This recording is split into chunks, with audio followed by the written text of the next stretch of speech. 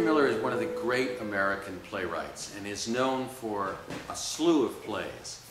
Death of a Salesman, uh, View from the Bridge, uh, and All My Sons, After the Fall.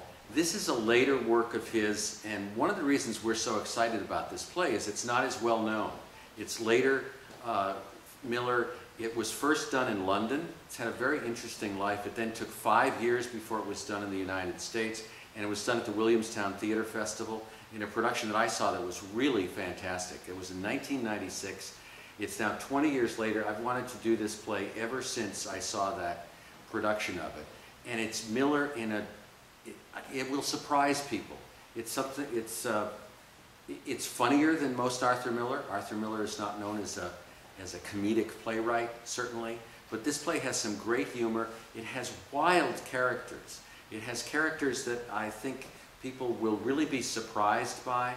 Um, Lyman Felt is not your average, typical fellow you're going to meet on the street, and neither are either one of his wives. So it's a fabulously written, very interesting work, and it's a chance for you to see an Arthur Miller play that maybe none of your friends have ever seen.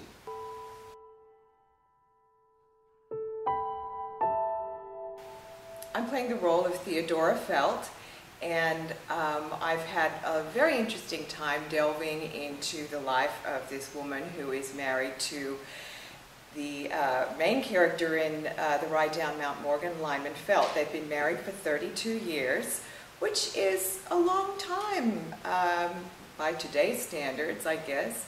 Um, she is a pretty conservative and traditional woman, was raised um, in the Episcopalian church by a uh, her father who was a minister actually. So she's very, very, very traditional.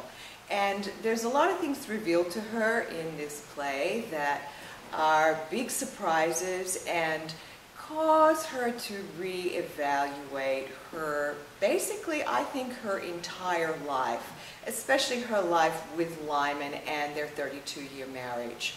I'm not going to tell you what those surprises are because you'll have to come and see the show to find that out. I'm playing Leah Felt.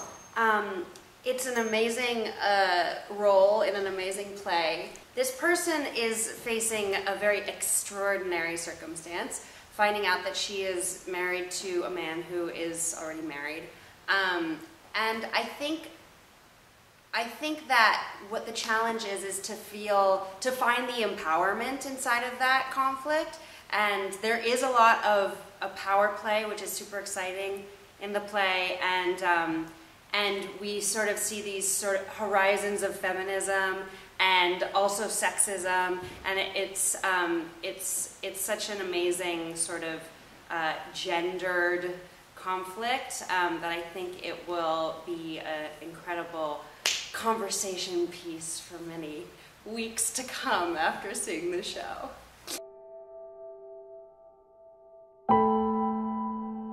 I'm playing Lyman Felt, and uh, enormous challenges uh, trying to get to the heart of this man who is basically his philosophy is, I guess, to thine own self be true, but the truth that he lives by is one that causes havoc and distress to everyone around him.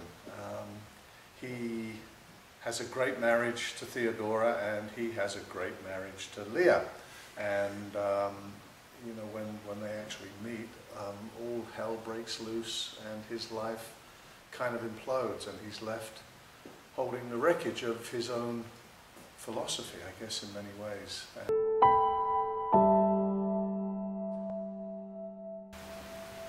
I play the part of Nurse Logan in uh, this play, The Ride Down Mount Morgan. And I think the thing that's fascinating about Nurse Logan, who she is the caretaker of the primary character, um, who is in this extraordinary situation that he finds himself in.